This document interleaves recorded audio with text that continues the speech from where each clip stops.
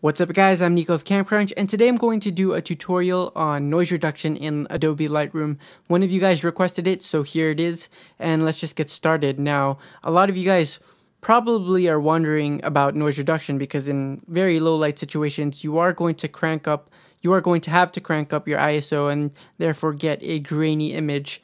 Um, but Lightroom does a very good job in actually uh, taking out that noise for you, assuming you're shooting in RAW. When you shoot in JPEG, it does also help to do noise reduction, but as you guys know, a JPEG is already compressed, it's already lossy, and you don't have too much information in there for Lightroom to work with, so it's best to work with RAW, especially if you're shooting in low light situations where you know you're going to have to edit your picture to make it look better.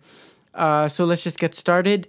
Now, if you go to Adobe Lightroom and you go to the Develop module, then you go down to detail, you will see noise reduction.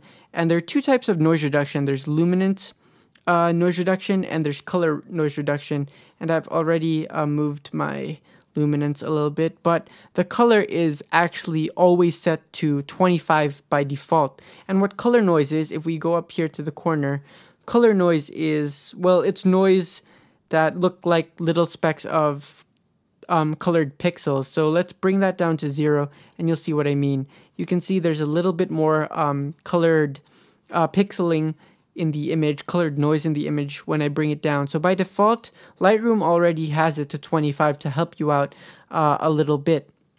Um, and then there's luminance noise, which is basically the rest of the noise. It's the gray noise that you see in your image. And by default, that is set to zero. Now, when you work when I work with Light, Lightroom at least, I don't mess with my color noise too much unless there is um, very no- noticeable amount of colored noise in the image. So I don't really touch that anymore. I leave it at 25 most of the time. But I do mess with luminance when I do want to add noise reduction to my image. So let's bring noise uh, the luminance noise reduction up a little bit and as you can see, uh, the little specks in the image are slowly starting to disappear. I actually had to increase the exposure of this image right now just so that you guys could see the noise a little bit better. But you can see that it's already slowly starting to disappear. But the problem you get with noise reduction is it usually softens the image because what I think it does at least is it blurs the pixels together so that you don't get the sharp noise that you get in the image. Uh, so you do lose a little bit of detail, but that is where these detail and contrast sliders come in. Because you're softening the image by adding noise reduction, this detail slider, which is already set to 50 by default, um, tries to save the detail that you uh, potentially lose in the areas that have noise reduction. So if we move that down to zero, um, you you can see that in this area right here especially,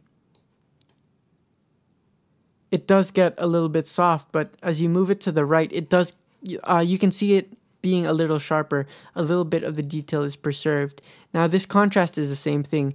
You might lose some contrast through um, removing noise in your image, but this contrast slider brings it back. But I don't usually touch that. I usually only really touch this luminance slider to increase or decrease the amount of noise reduction that takes place.